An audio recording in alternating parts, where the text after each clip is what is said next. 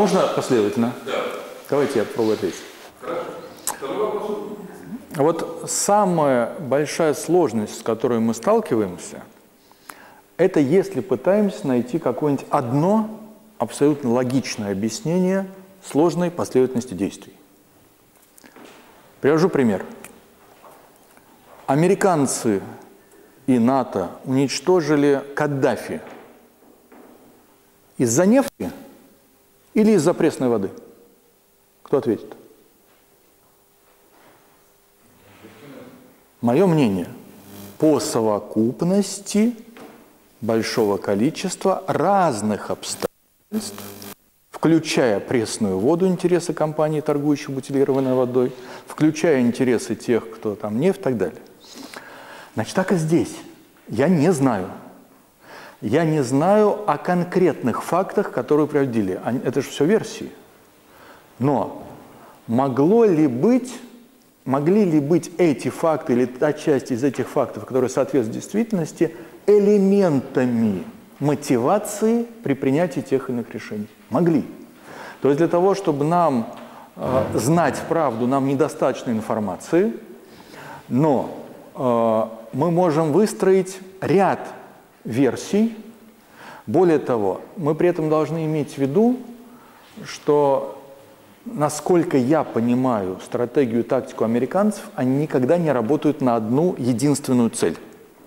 Они выстраивают поле достижимых целей. Не так получится, значит, вот это, если придет здесь, то вот мы вот здесь вот это решим. Понятна логика, да? Но это классическая военная логика. В этом смысле вот всего поле целей, которые они рисовали перед собой, поле вариантов и целей, которые должны были решать рисовать, прорисовывать какие-нибудь люди, сидящие где-нибудь у нас глубоко в подземелье в генеральном штабе, которых мы с вами по фамилиям знать не должны, это же ничего я не знаю. Я даже не знаю, существует ли этот тайный генеральный штаб, сидящий глубоко в подземелье. И очень боюсь, что его не существует. Понятно, о чем я говорю? Это будет очень печально. Нет, вот я, я вам искренне говорю. Да? Я очень боюсь, что вместо этих глубоко законспирированных людей зачастую используются известные политологи, которые дают, проводили какую-нибудь мошенническую избирательную кампанию, может быть, здесь же, в Петербурге. Понимаете? Они же, как мастера на все руки, вот рисуют какие-нибудь схемы, как нам... Опасаюсь, что так. То есть, еще раз, вот эти версии, и связанные с тем, что договорились, чтобы не отдавать китайцам Крым, порт, там, э, Евпатория и так далее – эти все версии, они известны, я вам вряд ли могу к ним что-то добавить. Э, не все происходящее работает однозначно именно на эти версии. Но с другой стороны, ситуация меняется, и те, кто ставили перед собой сначала одни цели, могут по ходу игры их менять. Вот какого-то более глубокого комментария я вам дать не могу. Конечно, ужас осознать, нет, ужас осознать, если мы, даже сказав два слова, что нельзя донецких и луганских бросать, сыграли на чашу весов тех, кто изначально хотел всего лишь просто в конечном счете изгнать их с территории, сделать территорию непригодной для проживания, для того, чтобы Эксону потом просто меньше платить за переселение людей. Вот так вот. непригодной для добычи славства. Или наоборот – зачистить территорию от населения, потому что при переселении населения всем надо выплачивать компенсацию. И такая, и другая версия есть. И не исключено, что те, кто принимают решения, готовы сыграть и в ту, и в другую игру. Вот, вот ведь. Но у нас недостаточно информации. У вас второй вопрос был. Я понял вашу да. позицию. Второй вопрос как раз более, более философский. Вы неоднократно сказали про интересы Запада и э, вот э, если брать э, контент-анализ ваших э, реплик, получается, что Запад это некий субъект, он обладает какой-то субъектностью. Да. И здесь вопрос, обладает ли Запад субъектностью, или все-таки это очень неоднородная структура? И в дополнение, а не входят ли в интересы Запада интересы и транснациональных корпораций, которые находятся на сегодняшний день, насколько я понимаю, не на Западе? Я знаю такую транснациональную корпорацию, как «Газпром», который, по-моему, крупнейший сейчас в мире по прибыли, «Роснефть», э, российские железные дороги, память Якунина, а, извините, имени Якунина, да, и целый ряд других. А, они что, э, не являются транснациональными корпорациями? Хороший, интересный вопрос. Спасибо. Попробую ответить так. Уважаемый товарищ, мы с вами обладаем субъектностью? Да. Не-не-не-не, мы с вами обладаем субъектностью. А если сейчас закричат, пирожки несут, идем туда. А если закричат, а вот эти там с какого, второго этажа пытаются пирожки отобрать, мы станем обладать субъектностью. То есть субъектность, она постоянно переменчива, в зависимости от того, какой... Понятно мой пример, да? Значит, обладает ли Запад субъектностью по отношению к конфликту, конкурентным отношениям между General Motors и Ford? Ответ однозначно. Единой субъектностью Запад по отношению к этому конкурентному конфликту не обладает.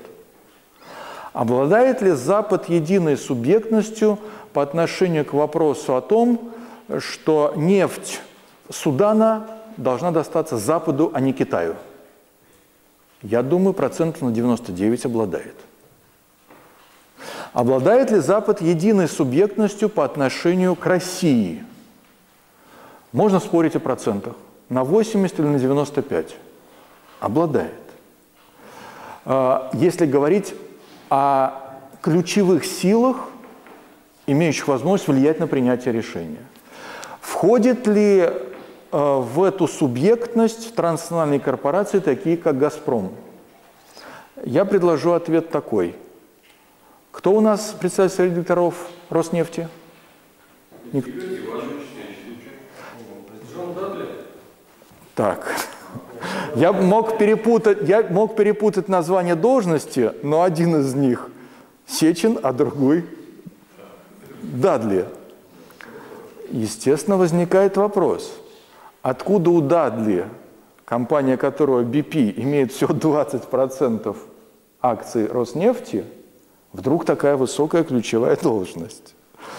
То есть я к тому, что э, на войне, где в твоем окопе только твои, а в том окопе только чужие, конечно, намного легче, чем в той войне, в которой вы совершенно правильно ставите вопрос. Кто из ключевых э, сил, оказывающих воздействие на принятие решения внутри «Газпрома», Роснефти, Норильского никеля и так далее, на какой процент ассоциирован с Западом, а на какой с нами?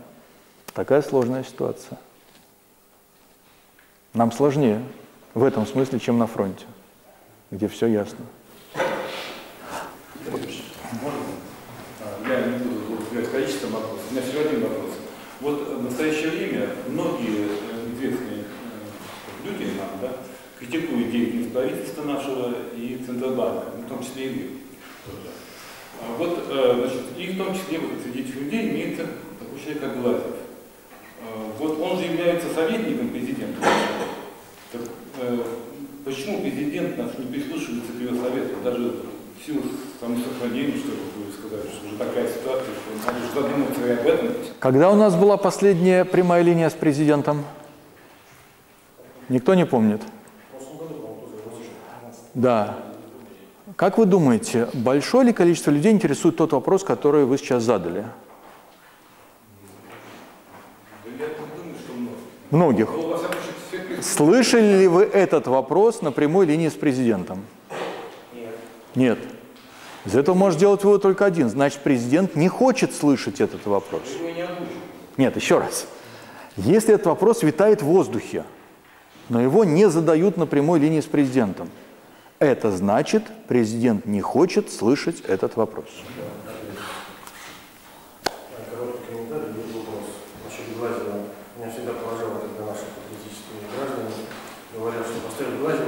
Все всех предают, а сейчас Глазева поставят, и все изменится. А вот мой вопрос, вы огромную часть своей речи посвятили о том,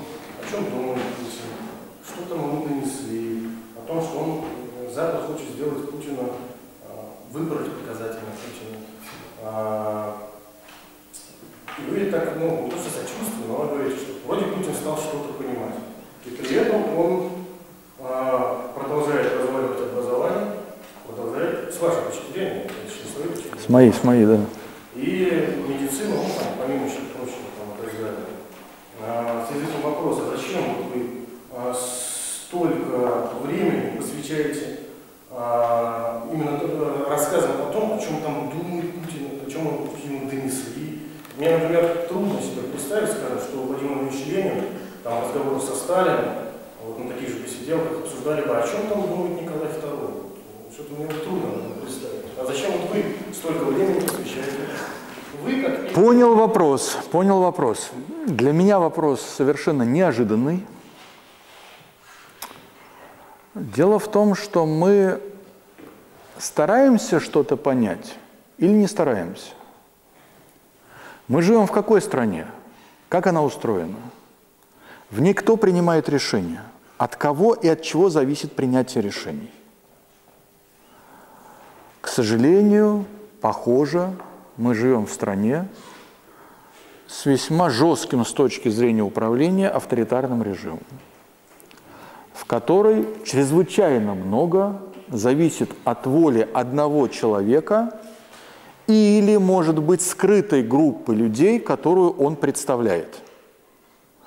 Поэтому, когда я говорю о том, что может быть в голове у Путина, я имею в виду некоторого виртуального Путина, в голову которого я, естественно, заглянуть не могу, но я исхожу из того, что он или его группировка, которая мне не видна, движимы какими-то побудительными мотивами. Все, что я говорил, я говорил исключительно в поисках объяснения, почему он действует так, а не иначе, и с моей точки зрения столь противоречива. Потому что для меня этот конфликт неразрешим в рамках здравой логики.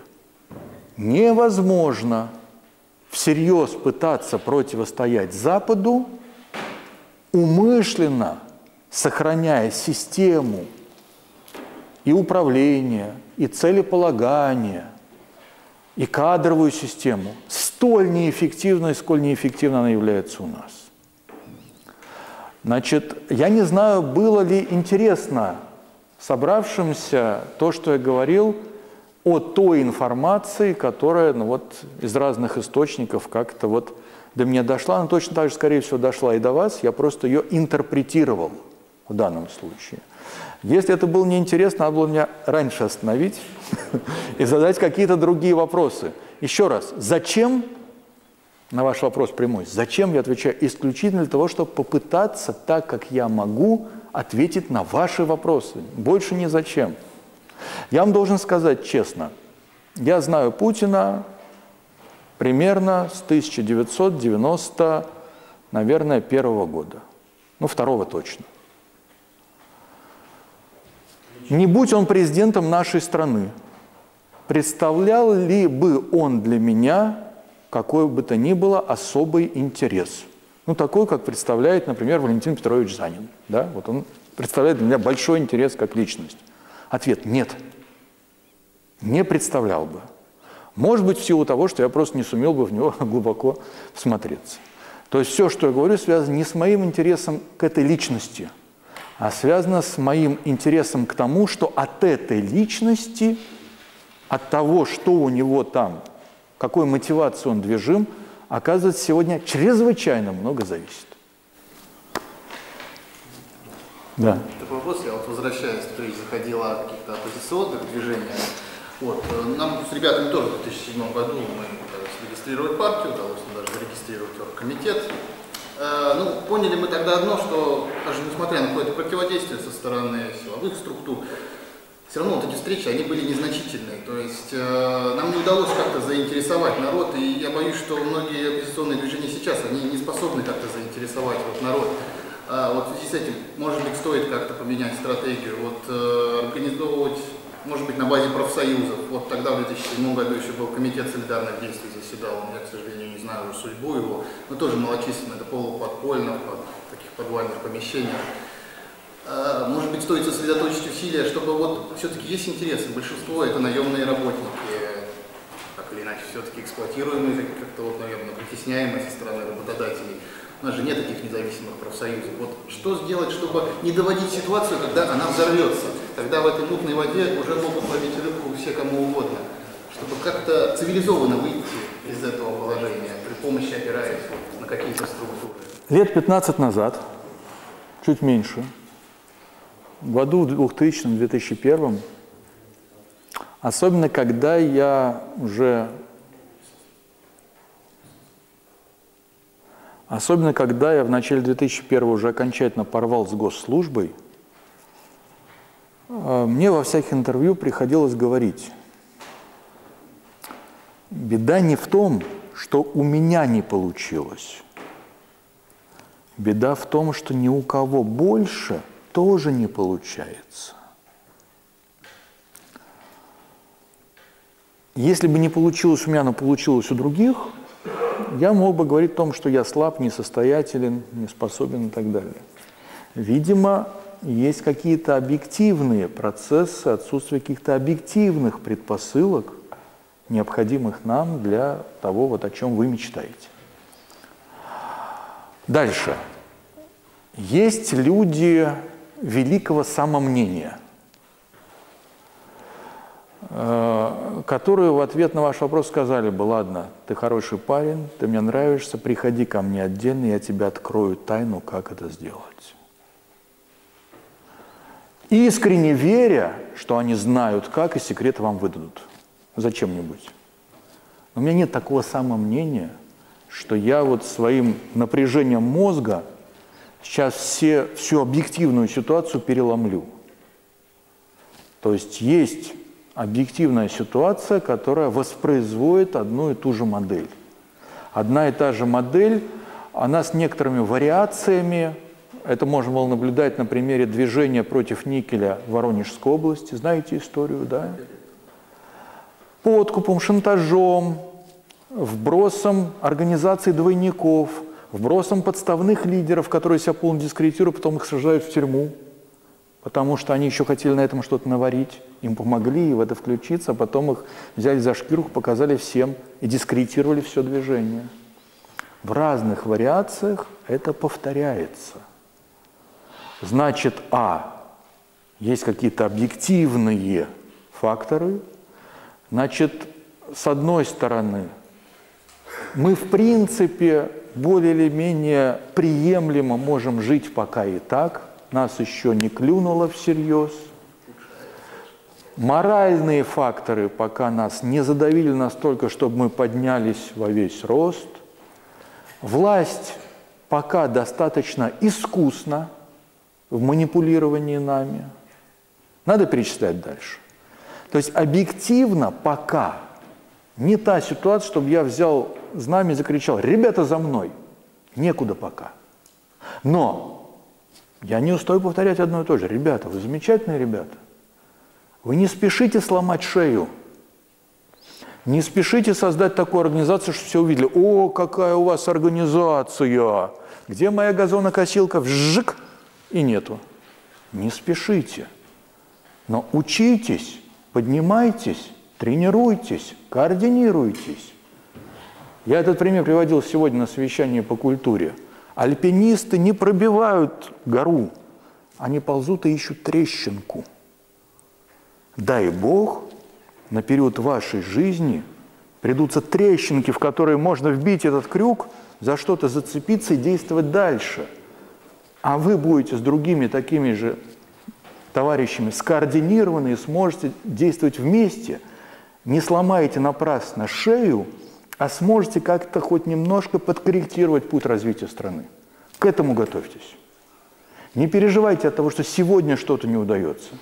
Создайте сегодня что-то маленькое, дискуссионный клуб, что угодно еще, группу товарищей, что угодно еще. Тренируйтесь. То есть не пейте с горя, что не удается, а ходите в спортивный зал, интеллектуальный, организационный, и тренируйтесь, тренируйтесь, тренируйтесь. И Бог даст, жизнь этот шанс откроет там, где вы его совершенно не ожидаете.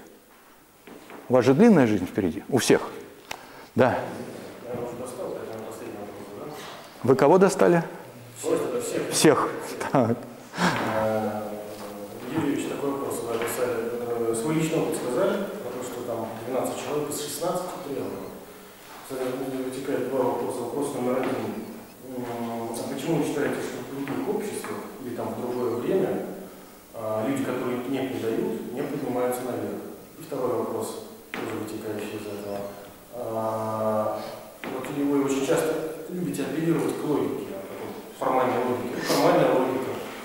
А, Человек, который ограничен рамками морали, вот у него есть ограничение. Человек, который не ограничен рамками морали, у него, соответственно, гораздо больше возможностей в этой жизни. Вот они могут предать и подняться. То есть как вы ответите на это? Вопрос-то в чем? Ну, я говорю, вопрос. э, Почему вы считаете, что других, других... А, понял, понял. И второе. Ну, уважаемые товарищи, вопрос. Эффективно ли предательство? Ну, ответьте. Так, краткосрочно. А если, не- а если никто не узнает долгосрочно? Вот мы с вами стоим у пропасти, никого вокруг. А ваш кошелек вот здесь, я вас толкнул. Это эффективно? Ну, о чем речь? Еще раз. А, Всерьез отвечая на ваш вопрос. Я приводил этот пример тогда, когда эта вот рана была прямо вот... Не знаю, как я выгляжу сейчас, но тогда, 15 лет назад, э, внутри у меня живого места не было. Я каждую неделю приезжал сюда и объяснялся с избирателями очередного предателя и не встречал понимания избирателей. Потому что они говорили, ну, Юрий Юрьевич, а может быть вы с ними как-то слишком строго? Им же тоже как-то крутиться надо. Так вот. То есть я был близок к тому, чтобы... Да догнивайте вы как хотите без меня. Понимание было некоторых, почему вы не правы. А? Понимание было. Нет, но я говорю... Нет, понимание было. Вот, ребят, вы слышали что-нибудь про стояние православное в связи с тем, что какие-то вот девахи там где-то что-то выступили, попели, поплясали? Слыхали? Про православное стояние. Ни малейшего намека на стояние в связи с тем, что на ваших глазах ваши интересы предают ваши избранники, они же не меня предали. Они публично продемонстрируют, что их публичное письменное обязательство ничего не стоит. И их избиратели говорят, ну ладно, нормально. Снова. И снова избирают, и все нормально. Понимаете? Об этом же речь. Вы говорите, как в других странах. В других странах, наверное, везде по-разному. Значит, э, Дон Кихот был вроде как последним, да, рыцарем. Но тем не менее, я приводил этот пример тогда. В США подозреваю, что сенатор, конгрессмен, который был бы публично увлечен в подобном, его дети не получили бы рекомендацию другого сенатора Вестпойнт. У них есть какие-то вот, если публичный скандал, то как-то от него все-таки надо подальше. Это какой-то грязный скандал, некрасивый скандал. Э, Может быть, я чуть идеализирую, может быть, это на 90%, так я сказал, может быть, только на 70%. У них нравы тоже как-то разлагаются. В конце концов, э, Клинтона же простили за то, что он уже свидетельствовал. Тоже разложение на самом-то деле. Да? Да. В другой цивилизации, это все немножко другая цивилизация. Я привел тогда пример, как раз Чеченская война. Говорю, в Чечне таких людей нашли бы с перерезанным горлом в канаве. И все, кто за одну политическую силу, и за другую, все бы сказали, конечно, собаки, собачья смерть. Потому что это не мужчина, это предатель. Разные цивилизации находят или не находят те или иные способы решения проблем. Я вам привел пример нацеленности западной цивилизации в экономической системе на обеспечение безусловного выполнения договорных обязательств. Привел. Это инструмент, но он отражает некоторую нацеленность цивилизации. Они могут быть лицемерны, они могут не прощать что-то, когда свои по отношению к своим, и простить, когда это будет по отношению к каким-то африканцам или к нам. Да, они не идеальны, но у них есть эта нацеленность на безусловное обеспечение, принуждение, в том числе и моральное, выполнение обязательств. Я ясно ответил на то, как в разных цивилизациях. Мне представляется, что те цивилизации, которые находят те или иные пути принуждения к выполнению своих обязательств, как моральные, так и материальные, они более эффективны в конкурентной борьбе с другими. Так же, как та футбольная команда, в которой каждый за себя, она не может победить ту команду, которая сплочена и в которой каждый друг за друга. Хотел задать более приземленный вопрос. Готовы ли вы, Юрий Юрьевич, возглавить и возродить а, движение а, Юрия Болдырева в рамках общественной организации, без того, чтобы пока не давать за власть, потому что, как вы сами говорите, там все зацементировано, с тем, чтобы в дальнейшем, когда эта политическая власть неизменно зашатается, она не попала в ру- в руки деятелей типа Навального и Немцова, Понял, спасибо. Первый ответ, который напрашивается. После той печальной истории, которой уже минуло 15 лет, когда сама идея вот такого движения Юрия Болдырева была полностью дискредитирована, не столько этим предательством, сколько тем, что не нашлось никаких рычагов его пресечения. Идти снова в эту же воду невозможно, абсурдно, бессмысленно. Будь я противником этого абстрактного Юрия Болдырева во время любой избирательной кампании, я написал бы, расписал бы, разложил бы по полочкам такой пиар против него и этого движения, что все и мокрого следа не останется. Это повторить уже невозможно. Зафиксировали. Второе.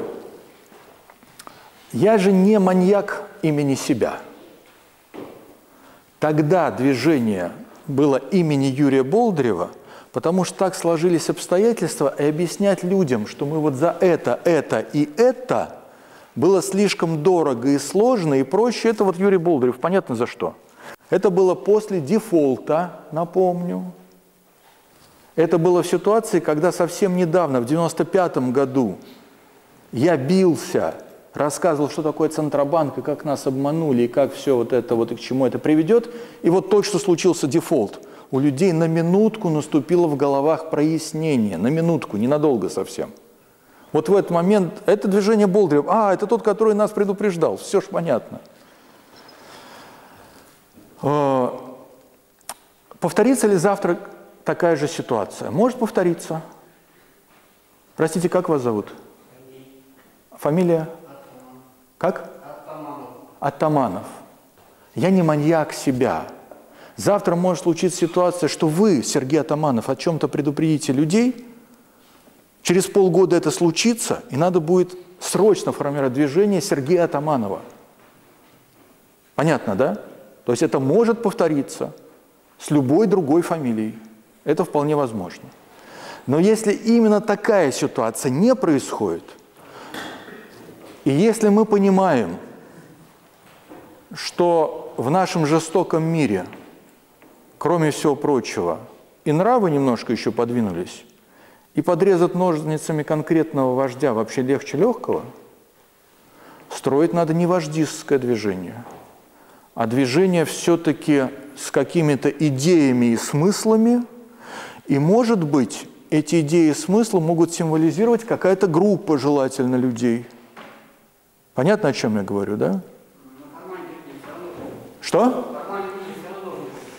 Это следующий вопрос. Это всегда вопрос не универсального решения сейчас заранее, когда мы не знаем, о чем говорим, к чему ведем, а это вопрос тактики конкретной кампании, конкретным выборам или конкретной революции или к чему угодно еще. Мы не знаем, о чем говорим. Сегодня этой ситуации нету. Завтра она может возникнуть. Не надо всем готовиться.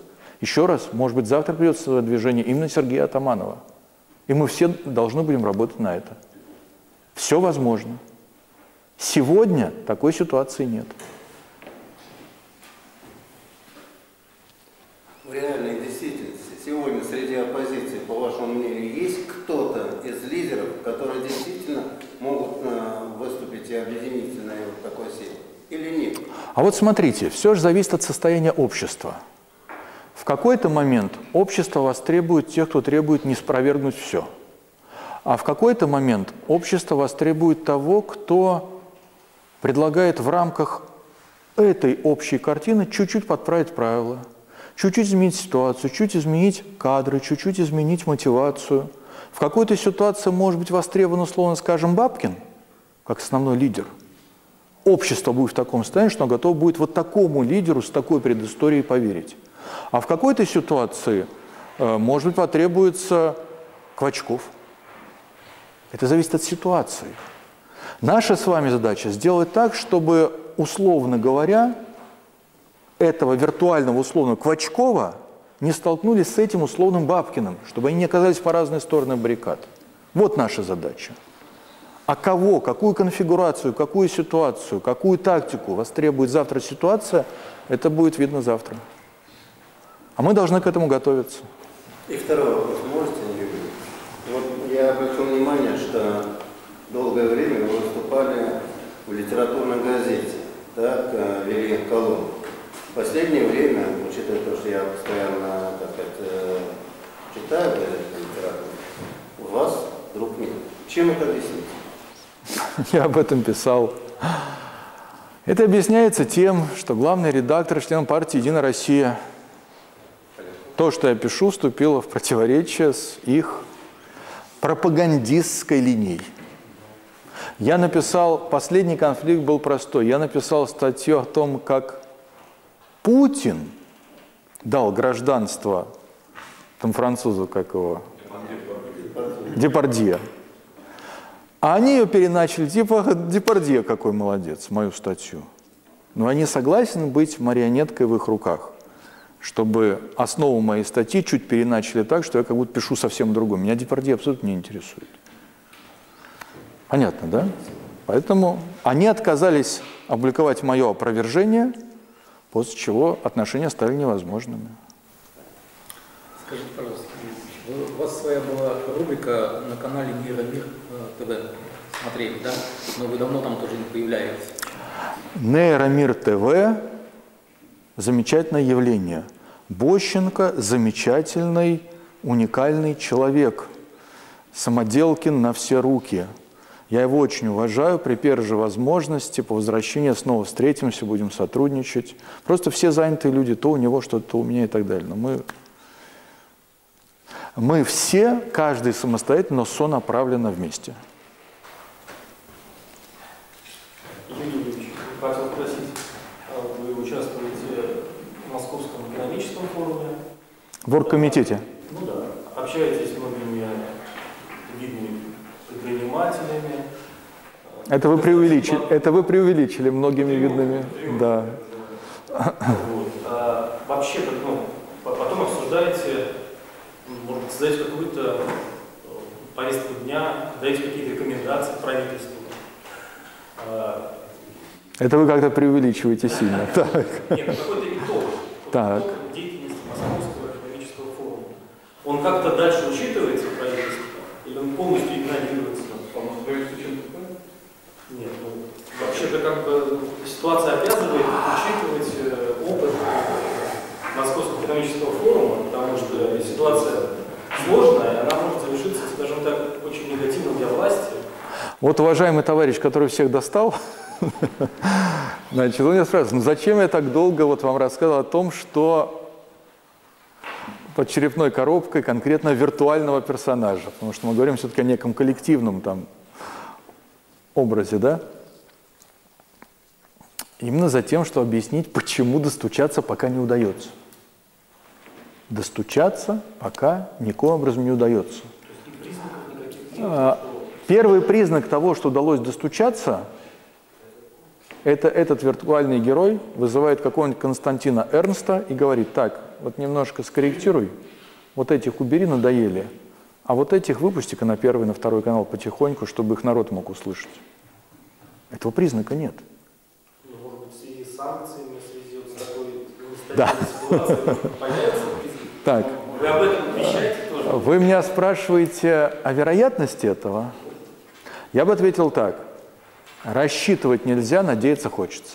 А ваше, ваши текущие занятия, заработок, если можно так сказать, э, меня интересует как компилятора вашей биографии, чтобы поддерживать ее Компилятора биографии. на вашем сайте, на вашем сайте, э. Да, значит, давайте я сначала, давайте я сначала отвечу на общий вопрос. Вот я виноват, я запустил. Меня уже попросили для каких-то двух изданий написать самого правильно, подправить там биографию, потому что везде, где что-то висит подробное, как правило, половина что-то перепутана. Поэтому надо, конечно, мне взяться и написать просто, ну, факты, э, путаницу устранить. Вот это сделать. Что касается моих заработков, значит, я когда мой сын выбирал между музыкой и правом, куда поступать, я ему сказал, что по моим представлениям есть две специальности, на которые ни в коем случае нельзя возлагать надежду, что, ты, что они будут тебя кормить. Это музыка и политика. То есть и там, и там ты слишком зависишь от переменчивых настроений публики, а если начинаешься подлаживаться, начинаешь подлаживаться, то теряешь себя. Поэтому мои заработки преимущественно никак не связаны ни с какой публичной, известной вам, политической и прочей сферой. Достаточно? Зарабатываю, чем могу. Не на политике. Нет, ну мне что-то платят за книги, что-то платят за статьи и так далее, но как бы так. А вы не торопитесь ее писать. А, нет, а вы не торопитесь ее заканчивать.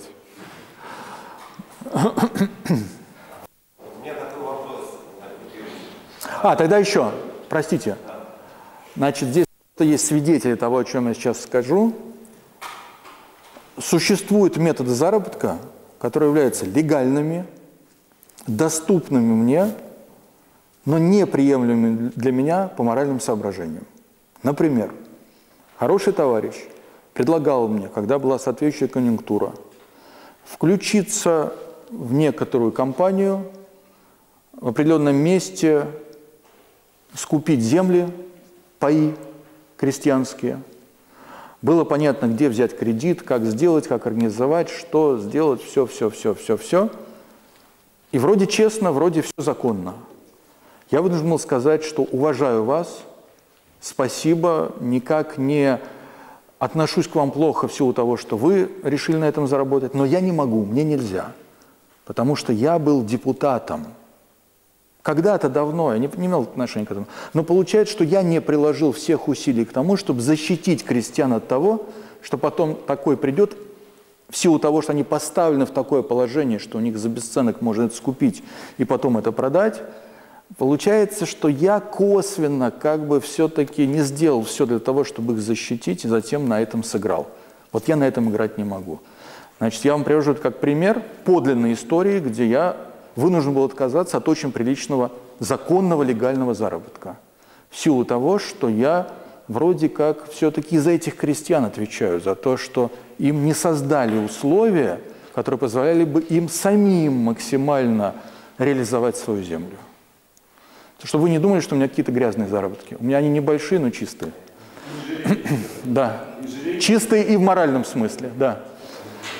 Юрий Юрьевич, хотел попросить вас зафиксировать такую ситуацию с Центральным банком. А вы писали об этом в книгах, э, говорили, но может быть как-то кратко, а, насчет сказок, которые нам рассказывают о том, как в начале 2000-х годов а, президент Путин а, пытался провести национализацию банка, но а, встретил явное сопротивление со стороны якобы КПРФ там, и так далее, которые, в общем-то, предлагали, насколько я помню, закон Глазева Арефьева был отклонен. И вот э, вопреки всему, вопреки вот этим написаниям с Думы, президент Путин не смог э, взять под контроль и национализировать банк. Вот э, это сейчас такая популярная и байка, которую озвучивает даже Тимура. Там, Димура? Тимура да, говорил, что президент Путин пытался национализировать банк, и говорил это неоднократно, что меня а, тоже удивляет. А, вот, вы не могли бы вот, кратко вот, зафиксировать как ситуацию? Давайте разделим два вопроса. Национализация и взятие под персональный контроль. В чем разница? Национализация – это постановка под публичный контроль через публичные институты и механизмы. Взятие перед, под индивидуальный контроль – это просто перехват рычагов назначения, смещения, поощрения, наказания. Понятна разница?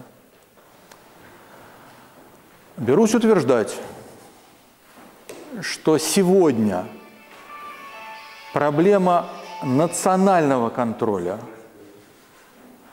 существует не только и не столько по отношению к Центральному банку, сколько по отношению ко всей государственной власти.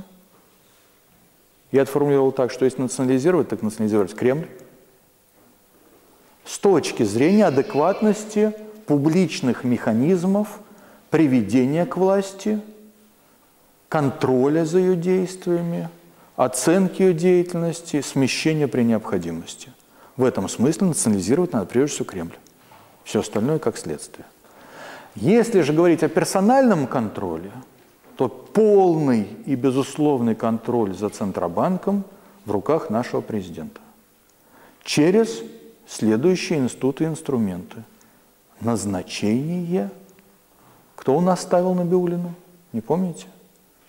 Представление к назначению осуществляет президент, голосование осуществляет правящее большинство, которое под его контролем. Эта партия является административным инструментом этой олигархической системы власти. Там нет никакой свободы решений. И о чем многие забывают. У нас же ключевой инструмент управления криминальный и полукриминальный. Всех надо поставить в такие условия – чтобы при желании не ждать, когда там, вот знаете, как приводит пример, что его можно освободить только если он. Это формально. А реально любого за ушко и на солнышко и к прокурору. Все поставлены в такие условия, что давай сначала нарушай, злоупотребляй, воруй, а дальше ты на крючке. Центробанк в этом смысле не является абсолютным исключением из правила. По Центробанку легко, денек посидев за его документацией, возбудить массу уголовных дел, в том числе в отношении руководства. Во всяком случае, так было тогда, когда работал в счетной палате. Сомневаюсь, что что-то изменилось. Механизмы и принципы управления ведь не изменились. Значит, наверняка наживочку расставили так, чтобы все были на крючках. То есть любого убрать в любой момент не захочет сам прокурор, суд, тюрьма. Вопросов нет. То есть все реальные инструменты воздействия на всех, на кого надо, скажем так, в этих же самых кремлевских руках. Поэтому проблемы такой нет, она абсолютно надумана. Она надумана в связи с тем, что в определенный момент стало невозможно скрывать противоречия между державной э, патриотической риторикой и действиями совокупной власти, в том числе и Центробанка. Когда это стало невозможно скрывать, а вот давайте вбросим такую, что мы бы хотели, но не можем, там же когда-то давно предали, продали, и теперь вот руки не дотягиваются. Но это не выдерживает никакой критики. Даже, как минимум, после назначения Набиулиной. Все очевидно, кто назначал, кто представлял и так далее. И последнее. Об этой истории там, начала 2000-х годов. Это описано у меня в книжке о бочках меда и ложках дегтя. Значит, э, ничего фундаментально иного, чем то, что там описано, сколько я знаю, нет. Не могло пройти там, особенно как-то мимо моих глаз. Интересующиеся могут залезть в протоколы заседания Государственной Думы, что там носилось, это же все открыто. То есть это можно найти, протоколы, законопроекты и так далее. Ничего фундаментально иного не было. У меня был интересный, содержательный разговор, который я, по-моему, там же описал в книжке, э, с бывшим председателем комитета по бюджету Думы, который и протаскивал закон в 1995 году, который затем был щедро вознагражден и стал министром финансов, а сейчас до настоящего момента является президентом, по-моему, банка ВТБ-24. Тогда, вот в начале 2000-х, Задорнов, он как раз протаскивал эти изменения, которые прошли. Я на Совете по внешней оборонной политике его спрашиваю, ну как, ты же всего там несколько лет назад выступал совсем за независимость Центробанка. Они там тогда вели Национальный банковский совет, там еще что-то, какие-то изменения сравнительно косметические, но сделавшие э, чуть больше каких-то рычагов формальной зависимости от... Там. Он мне говорит, не, я всегда за это выступал. Я даже это описал. То есть люди абсолютно как бы вчера одно, сегодня другое, что прикажут и так далее. Там нет, нет проблемы воздействия на этих людей. Они абсолютно послушны. Куда бы они ни приходили, вчера он в комитете по бюджету, завтра он министр, послезавтра он в банке ВТБ-24, еще послезавтра он будет на Центробанке, и кто-то будет говорить, ой, мы не можем до него дотянуться. Абсолютно управляемые люди, вопросов нет. Если кто-то говорит, что они неуправляемы, это значит, он пытается скрыть свои собственные действия, сделать вид, что это кто-то другой действует. Все. Значит, последний вопрос. У меня вопрос такой совсем земной. Э, вот э, просто создав недавно семью, супругой задумались о улучшении жилищных условий. Поздравляю. Спасибо большое. Улучшении жилищных условий. Соответственно, вот падение цен на нефть и, как я, насколько я знаю, все-таки в нашем жилищном строительстве этих долларов именно от инвесторов, они не являются инвесторами. А, вот перспектива. Вот насколько возможно, что вот этот вот мыльный пузырь, все-таки цены очень завышенные, зависимые от нефти, не произойдет ли коллапс на рынке недвижимости, скажем, все-таки, ну, наверное, многих интересует, наверное, основной капитал у всех сейчас, который имеется. Вот насколько стоит ли вот сейчас этим вообще вот задумываться, или лучше это отложить как-то в другом? Знал бы прикуп, жил бы в Сочи. Да.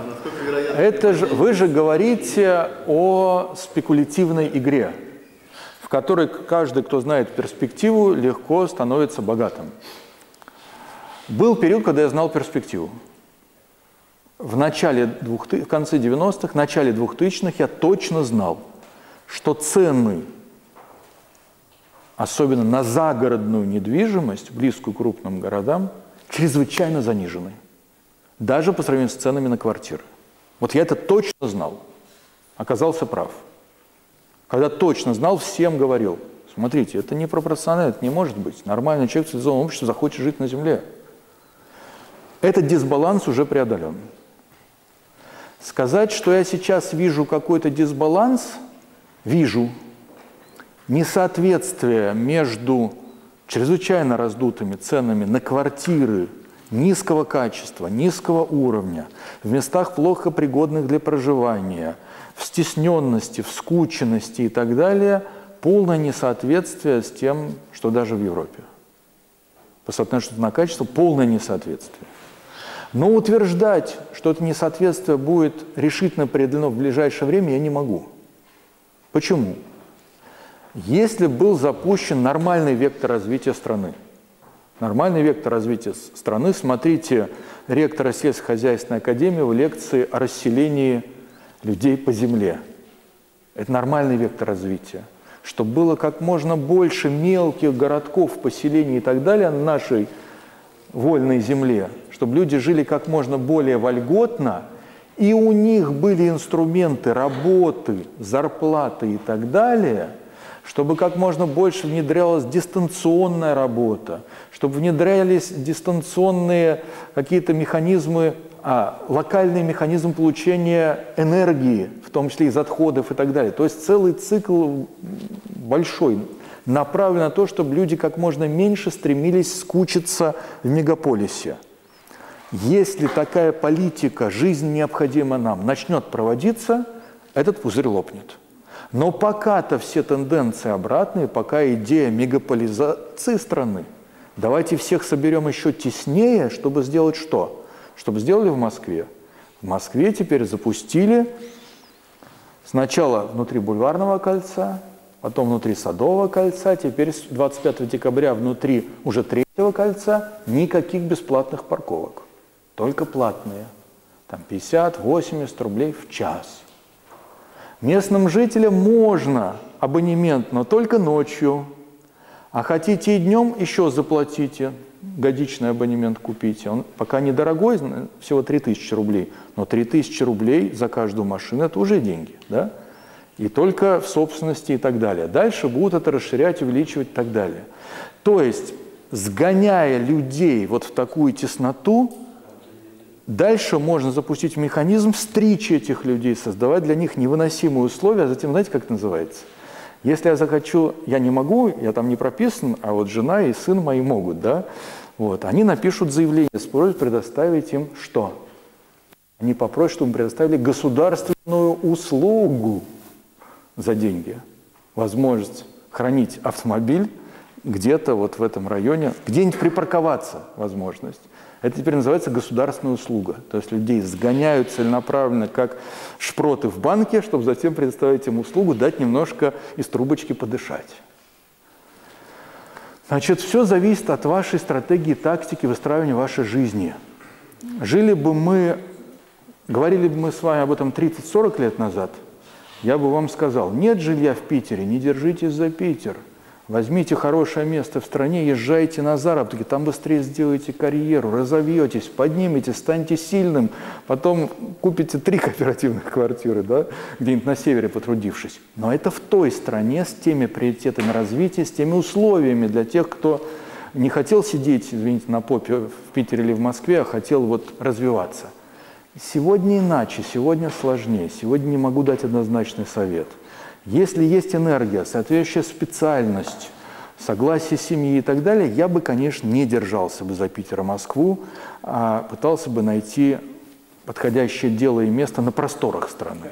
Но это я по своему устройству внутреннему сожалению, тоже проектируем эти сети, которые в этих домах. Ну, смотрите, какая, какая стратегия и тактика вашей жизни. Значит, э, вложение в жилье, когда она стоит таких фантастических денег, дело, конечно, очень рискованное. А вложение в жилье через ипотеку с такими фантастическими процентами, дело, конечно, кабальное. Но, может быть, вам повезет, и инфляция будет такой фантастической, что она съест этот кабальный процент. А может быть, не повезет. Не угадаешь. На этой анти...